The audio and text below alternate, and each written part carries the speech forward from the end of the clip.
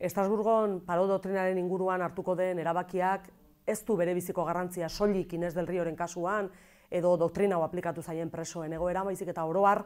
zalantzan jardezake eta jarri du dagoeneko ustaleko erabakiarekin Partio Popularraren e, gartzela politika osoa. Eta beraz, berriro ere konfirmatuko balitz e, sententzia hori, eta gukala nahi genuke,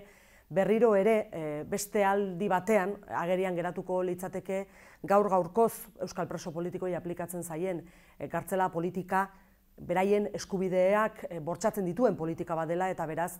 gaur gaurkoz lehen ere ez, baina gaur gaurkoz eta gaurko egoeran oraindik eta zentzu gutxiago duela. Horregatik espero dugu e, epai hori e, hain justu ere uztailekoaren e, baiestatzea izango dela eta e, pauso bat gehiago suposatuko dula alderdi popularraren blokeo jarrera horretan e, aurka egina alizateko. Guretzat, garrantzitsua da oso euskal gizarteak orain arte adierazi duen horrek ere Estrasburgo noi hartzuna izatea, gizarteak aspaldi esan duelako gaur egungo hartzela politika ez dela onargarria, gaur egungo egoerak are gehiago oraindik eh, politika hori aldatzea eskatzen duelako. Eta beraz epaia ere norabide berean joango balitz, bai Bilbon e, urtarrileko manifestazio erraldoian ikusi zen irudia edo azkeneko garai hauetan eragileen aldetik, instituzioen aldetik, doktrina honen kontra azaldu den jarrera horrek beste bultzada bat izango luke. Eta Parisek eta Madrilek duten blokeo egoera horri hori gainditzeko beste urrats bat suposatuko luke.